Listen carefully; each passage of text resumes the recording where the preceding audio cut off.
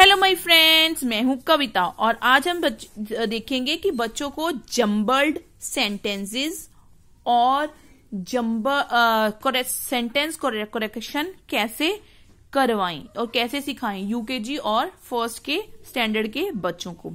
First of all बच्चे को jumble word clear होना चाहिए कि जम्बल का क्या मतलब होता है।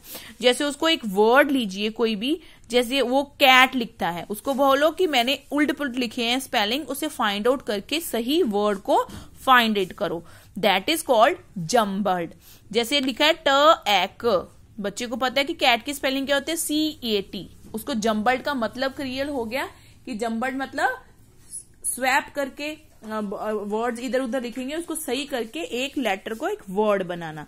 That is called jumble words आज हमका टॉक है जम्बल सेंटेंसेस सेंटेंसेस क्या होती है? एक पूरी लाइन और इसको रखते, बनाते हुए बच्चे को ये चार रूल समझाइए पहले कि कैसे करते हैं। पहले बच्चे को बताइए कोई भी जो सेंटेंस है, वो तीन चीज़ों से बनता है। सब्जेक्ट हेल्पिंग वर्ब और ऑब्जेक्ट ये सब्जेक्ट और ऑब्जेक्ट के बारे में बच्चा जाके के फ़र्स्ट में पढ़ेगा। फ़र्स्ट उसको पता होना चाहिए सिंपल में, कि फ़र्स्ट रूल क्या है कि sentence starts with capital letter जो सेंटेंस है, वो सबसे फ़र्स्ट वाला लेटर वर्ड है जो सेंटेंस का, वो कैपिटल लेटर से स्टार्ट होएगा।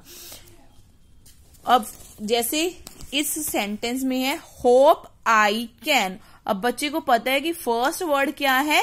आई कैपिटल है तो ये वर्ड पहले आएगा। That is called I second is then look at the picture बच्चे को पहले सिंपल जम्बर्ड वर्ड देने से पहले बच्चे को एक पिक्चर दिखाइए और उसको कहिए कि अब सेंटेंस को देख इस पिक्चर में तेरे को क्या दिख रहा है और फिर उसके बाद करवाइए। Look at the picture and find the word imagine what and happen एक पिक्चर मान लो कि हमने दिखाया कि रामो इज़ टॉल ये मान लो एक पर्सन बच्चा ड्रॉ किया हुआ है, वो बहुत सारा टॉल है, लंबा है। और हमने बच्चे को बताया कि ये इस पिक्चर को देख के आपको क्या समझ आता है? टॉल रामू इज़ बच्चा बताएगा कि अब आर कैपिटल है तो सेंटेंस इससे शुरू होएगा। और उसके बाद आता है हेल्पिंग वर्ब हेल्पिंग वर्ब में क्या आता है? Was were is am are has have had या बच्चे को याद करवा दीजिए कि वर्ड्स होते हैं, ये हेल्पिंग वर्ब्स होते हैं। लेटर ऑन जाके फ़र्स्ट में या एडमिट पढ़ लेगा कि वो क्यों और कहाँ यूज़ होते हैं। और बच्चे को इज़ आम का डिफरेंस पता होना चाहिए कि इज़ सिंगुलर के साथ लगता है आर प्लूरल के साथ लगता है और एम है जो आई के साथ लगता है। इसी तरह वॉज़ वर्ड में कि वो सिंगुलर है प्लूरल है एंड सो ऑन ये दो चीज़ें बच्चे को क्लियर होनी चाहिए यूकेजी लेवल पे। अगर लेटर ऑन वो सब कुछ करेगा।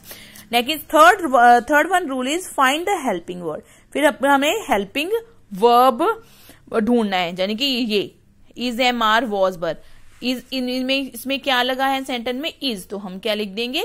इज़ उसके बाद सेंटेंस एंड्स विद अ फिर जो बचा, अब क्या बचा? सिर्फ़ टॉल ऑब्जेक्ट बचा, उसको हमने लिख दिया. रामू इज़ टॉल अब एंड जो सेंटेंस है, वो हमेशा तीन चीज़ों से फिनिश होता है, या तो फुल स्टॉप इसको पीरियड भी बोलते हैं क्वेश्चन मार्क और एक्सक्लेमेशन साइन की।